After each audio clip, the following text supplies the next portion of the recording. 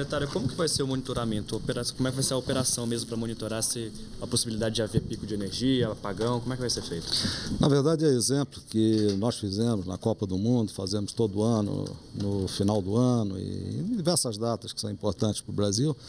Nós tomamos todas as providências e dessa vez, como é o dia mais importante é, para uma democracia, que é a eleição presidencial, é, você tem então é, uma série de ações que o Ministério, a pedido do Tribunal Superior Eleitoral, vem desenvolvendo aí ações para garantir essa tranquilidade de que forma que transcorra sobre o aspecto de energia elétrica com a maior tranquilidade possível. Quais são essas ações?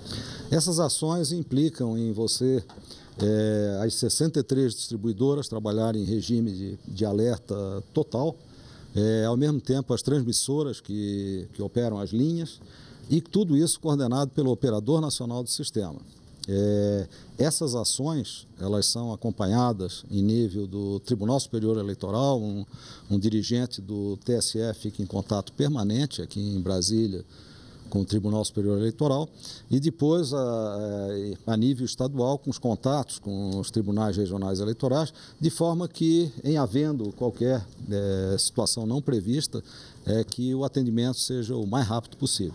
Mas nós fazemos todo o esforço para que ocorra aquilo que ocorreu é, em evento recente, que foi essa mesma estratégia usada na Copa do Mundo, que correu tudo perfeito. Secretário, mas aí assim, ocorreu um problema em tal lugar, aí os, a, a, central é avisada e vocês acionam os técnicos naquela... Normalmente, normalmente o sistema interligado já trabalha com a série de, de requisitos de comunicação entre as empresas distribuidoras, transmissoras e o operador nacional do sistema.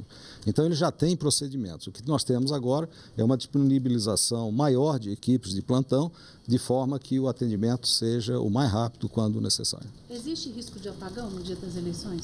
É, o sistema elétrico trabalha com a, o grau de confiabilidade que ele foi planejado e o sistema elétrico brasileiro ele tem apresentado um nível de, de confiabilidade que é comparável aos melhores sistemas para economias do nosso porte. Então, não há risco. Não há risco. Eu digo que o sistema brasileiro trabalha com um nível de risco compatível com as melhores, os melhores sistemas elétricos em economias compatíveis com o nosso porte. No caso de algum problema, o que, que o cidadão deve fazer? O, normalmente o cidadão ele tem o contato direto com a distribuidora dele e qualquer problema é, que ocorra, é como sempre, ele entra em contato com a distribuidora. Algum estado, alguma região preocupa mais ou merece mais atenção nesse período? Eu acredito que todas as regiões são importantes para o Brasil e, naturalmente, na estratégia que é definida para eventos dessa natureza, o ONS já tem em, de, formas de melhorar o nível de confiabilidade e atender os requisitos de cada região. É, secretário, esse episódio do apagão aí no Acre, em Rondônia, já deixa em alerta o Ministério?